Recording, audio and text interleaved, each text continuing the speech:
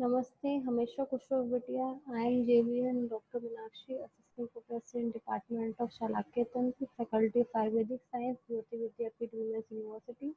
आज का हमारा डिस्कशन का टॉपिक है benign and malignant tumours of tongue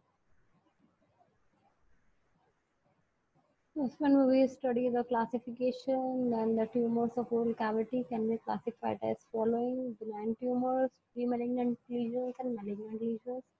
The benign tumors are solid or cystic. First one, the malignant tumors of tongue.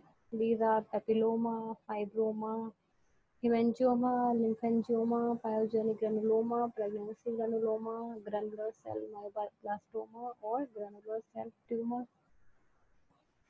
First one is papilloma. It is squamous papilloma arise from the stratified squamous epithelia of the oral cavity. It has little malignant transformation. It appears as exophytic growth made up of numerous small finger-like projections. It is either single or multiple growth and uh, cauliflower or wart-like appearance in the mucosa of the oral cavity and most frequently on the tongue. Next is the fibroepithelial polyp or fibroma. As you can see in the picture, the shape is round, ovoid, leaf-shaped, side or pedunculated. The size is less than 1 centimeter Color is normal color of the mucosa. Texture is smooth, may become ulcerated. Consistency is firm, growth is slow, mobility it is immovable and uh, it is usually single in number. Then hemangioma, etiology is vascular formation. Then clinical features, commonest on the tongue, lips and buccal mucosa, well circumscribed, flat or raised lesion with discoloration diagnosis blanching when pressure applied using a glass slide, diascopy, management non-symptomatic, then no treatment is required. If it is symptomatic, then surgical excision, cryotherapy, sclerosing, embolization is done. And uh, types of hemangioma are capillary, cavernous, and mixed hemangioma. Here is an image of the hemangioma on the tongue. Then lymphangioma, they are extremely rare in the oral cavity. The common site of occurrence for lymphangioma in the oral cavity is the anterior dorsum and the lateral border of tongue. The clinical features are macroglossia or localized soft swelling. Treatment is excision, small in case of small lesions, partial excision in case of large lesions, and total excision in case of if total excision if other excisions are not possible.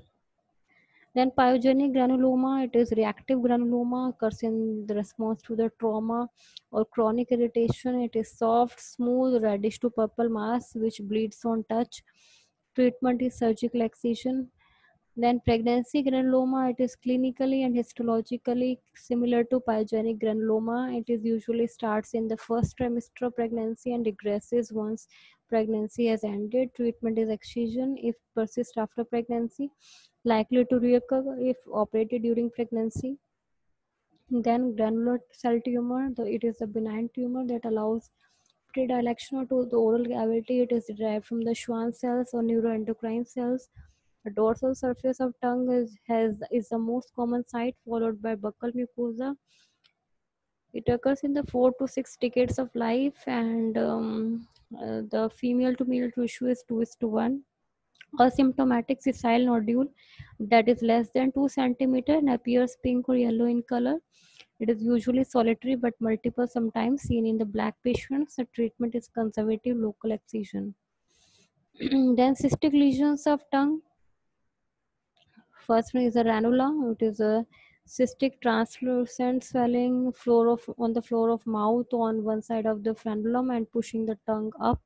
Sublingual salivary gland due to the obstruction of its ducts and the ranula extend into the neck which are called the plunging type. Treatment of ranula is surgical excision and marsupialization uh, has an image of the plunging ranula then pre-malignant lesions, uh, first one is leukoplakia. It is chronic white verrucous plaque with histologic atypia. Uh, severity linked to the duration and quantity of tobacco and alcohol use. It occurs anywhere in the oral cavity, lip, tongue, or the floor of the mouth. Lesions are prone for aggression to Squamous cell carcinoma, erythroplakia, it is non-inflammatory, erythematous plaque, decreased keratinization is there. Then submucous fibrosis, it is generalized white discoloration of oral mucosa with progressive fibrosis, painful mucosal atrophy, and restrictive fibrotic bands. Individuals who chew betel quid, tobacco, lime, and betel leaves ultimately leads to trismus, dysphagia, and severe xerostomia. 5 to 10% progress to squamous cell carcinoma. The malignant tumors of tongue has been shown in the image, the squamous cell carcinoma. Carcinoma tongue, it presents as an exophytic lesion, a non-healing ulcer with rolled edges, grayish white, shaggy base and induration. Third one is a submucous nodule with induration of the surrounding tissue. Clinical features are asymptomatic for a long time, pain in the tongue locally at the site of ulcer, pain in the ipsilateral ear, a lump in the mouth and large lymph node mass in the neck, dysphagia, difficulty to protrude the tongue, slurred speech and feeding from the mouth are late. Staging of the disease, American Joint Committee on Cancer has decided TNM classification where TX is the primary tumor that cannot be assessed, T0 no evidence of primary tumor, T1 less than 2 centimeter in greater dimension, T2 4 centimeter to 2 centimeter in greater dimension, T3 more than 4 centimeter in greatest dimension, the staging of disease, then T4A, T4B, N stage NX, N0, N1, N2A, N2B, N2C, N3, then M stage MX, M0, M1. Staging stage 1, stage 2, stage 3, stage 4A, stage 4B, stage 4C. Then treatment is the small tumor treated with the radiotherapy or surgery. T2 and 0 tumors can also be treated by the radiotherapy, including the neck nodes. They can also be treated by surgical excision with prophylactic neck dissection. Stage 3 and 4 tumors require combined treatment with surgery and postoperative radiotherapy. Hemiglossectomy, including a portion of the floor of the mouth, segmental or a hemimandibulectomy and dissection of neck. Commando operation is done. Thank you so much. This uh, session is covered by digital version 2.0 Jayoti Vidyapeeth University. I hope you are satisfied with the digital session and if you have any query, please mention in the comment box. I will resolve it.